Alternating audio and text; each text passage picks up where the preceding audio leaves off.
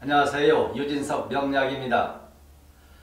2024년도 갑진년에 12개 띠 중에서 다음과 같은 띠는 좀 이런 부분에서 참고해 보시기 바랍니다. 어떤 부분이냐? 강의를 시작해 보도록 하겠습니다. 12개 띠가 있습니다. 12개. 자, 자축, 인묘, 진사, 오미, 신유스대 여기에서 2024년도 갑진년에 갑진년의 12개 띠 중에서 저는 다음과 같은 띠는 이런 부분을 한번 참고해 보시기 바랍니다. 여기서 호랑이 띠하고 호랑이 띠하고 뱀 띠하고 돼, 개띠하고 돼지 띠 이 네 개 띠는 이런 부분에서 한번 참고해보자. 어떤 부분이냐? 창업에 관계된 부분.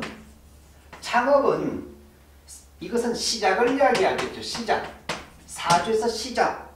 뭔가 새로운 것을 심는다 이걸 이야기해 주겠죠. 심는다. 뭔가 심는다. 뭔가 시도한다 이걸 이야기해 주겠죠.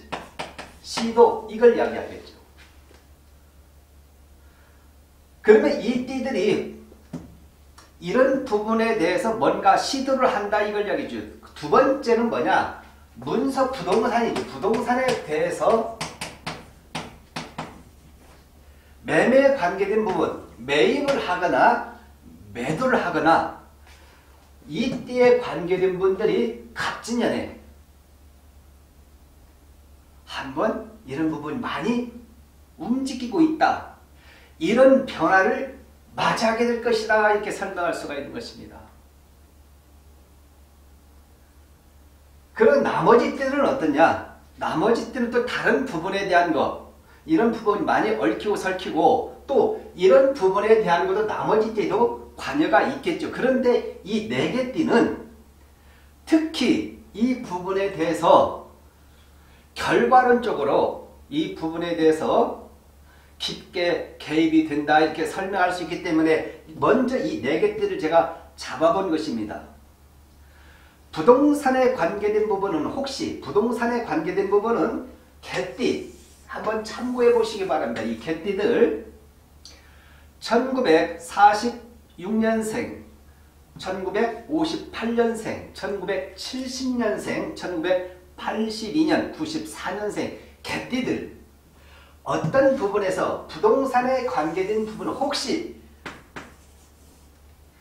매도를 하게 된다면 저는 이 매도 부분이 조금 매입보다는 위에 올라와 있다. 그래서 매입은 저는 찬성 이걸 매도는 찬성을 할 것이고 매입 문제는 잠깐 좀 보류를 하자 이렇게 설명할 수가 있습니다. 특히 일간에서 일간에서 술띠, 개띠는 임수를 갖고 있는 사람들, 임수, 임수를 갖고 있는 사람들은 매도 문제에 대해서 저는 굉장히 좋은 결과가 있을 수 있는 확률이 높고 개수에 관계된 부분은 혹시 이 개수에 관계된 부분 조금은 소가를 하면서 진행이 될 것이다 이렇게 설명할 수 있습니다. 그래서 임수와 같은 개수 수의 기운인데도 임수가 왕이다 이렇게 설명할 수가 있겠죠. 이 부분에 대한 부분이 많이 개입되어 있다 이걸 얘기해 주겠죠. 그 다음에 호랑이띠, 뱀띠, 그 다음에 돼지띠 이 세 개 띠 인신사회 중에서 인신사에서 신만 제외를 시켰습니다. 제가 신만 사생지 생기가 있다 이걸 얘기해 주죠. 항상 시작 봄의 시작 여름의 시작 가을 시작 겨울 시작 시작이죠 시작 시작 그러면 여기서 힌트를 얻을 수 있겠죠. 시작이니까 내 사주에 이것이 있다면은 갑진년이 들어오면 갑진년이 들어오면 진 자체에서 얘들이 자기들끼리 융화를 한다는 걸 이야기합니다. 잘 왔다. 어서 와라. 이렇게 하고 얘도 인사해에서는 자기가 그 안에 들어가서 뿌리를 내릴 수 있는 그 근거지를 갖고 있기 때문에 반긴다 이렇게 볼 수 있습니다.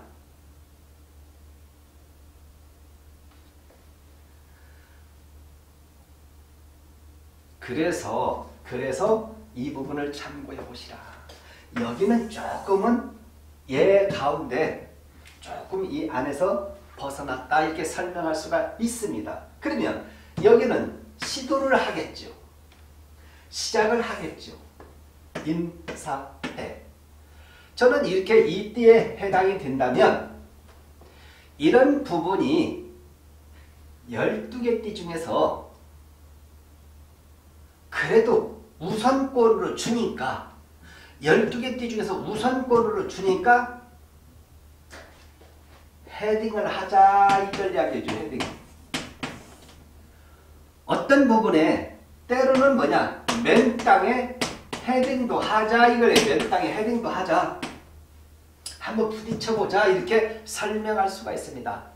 다른 띠에 비해서 이 띠들은 갑진의 진을 반기기 때문에 그래도 그래도 조금은 다른 띠보다 우여곡절과 여러 가지 어려운 문제를 조금은 다른 띠에 비해서 좋은 조건을 갖고 있기 때문에 뛸 필요가 있다. 감사한 마음으로 뛰어보자.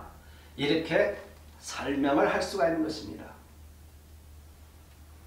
태어난 사주에서 사주 구성에서 연지 하나만 가지고 연지 하나만 가지고 이야기하기는 어렵습니다. 그러나 그러나 진과 연지에서 이 띠들은 진을 만나게 됐을 때 그래도 서로가 융화 작용을 하기 때문에 길 작용을 하기 때문에 그래서 제가 이런 부분에 대해서 설명을 한 것입니다. 아, 이 띠들은 이런 부분에 대한 것이 그 어느 때 다른 띠보다 올 한 해는 그래도 한번 해볼 만하지 않겠느냐 이렇게 설명할 수 있는 것이죠. 그래서 호랑이띠, 뱀띠, 돼지띠에 해당이 되는 사람들 한번 참고해 보시기 바랍니다. 그러면 또 여기서 누군가가 좀 반박을 하겠죠. 여기가 돼지띠인데 돼지띠는 사주에서 오행상 수에 해당이 되는데 만약에 여기서 가을 겨울에 신유술 해자축으로 가을과 겨울에 태어난 사람이 그렇다면 이 사람도 좋겠느냐 이렇게 질문이 들을 수 있겠죠.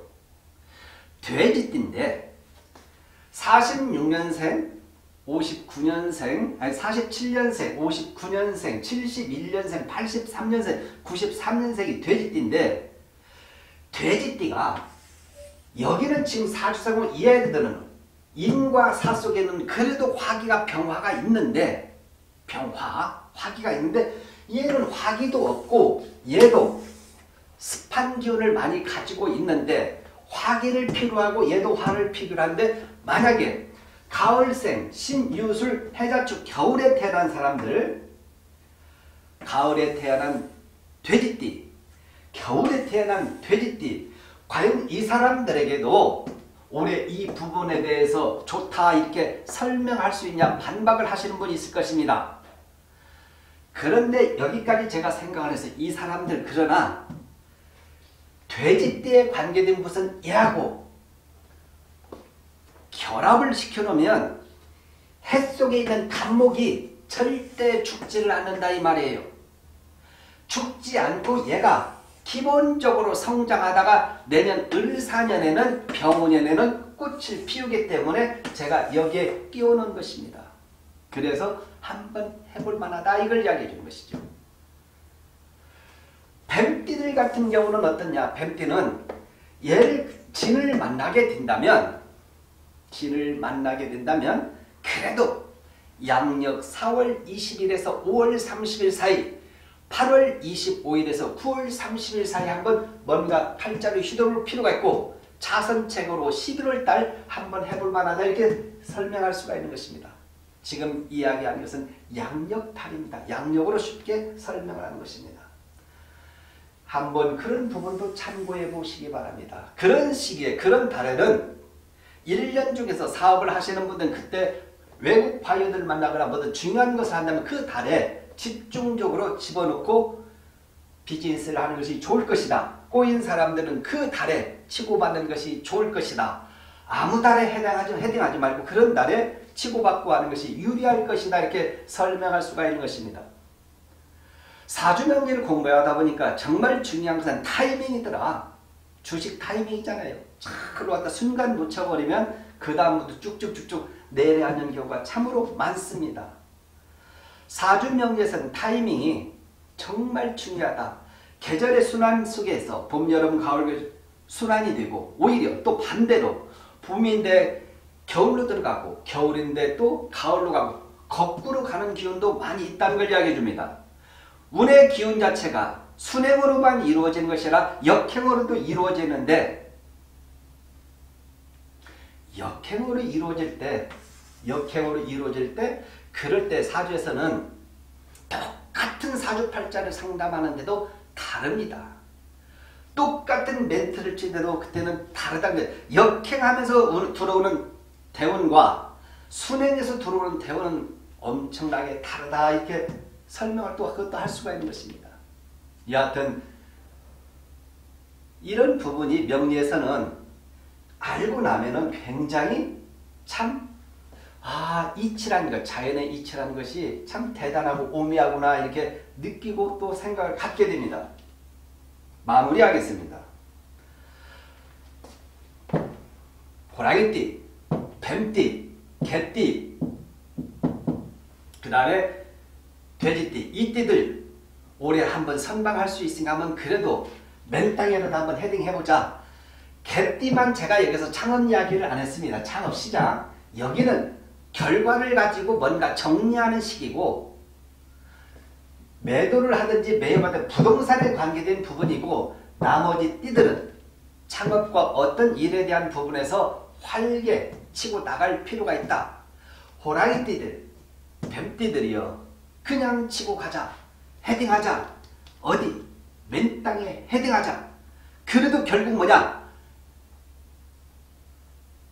머리가 빠개진 것이 아니라 땅이 쪼개질 수가 있다.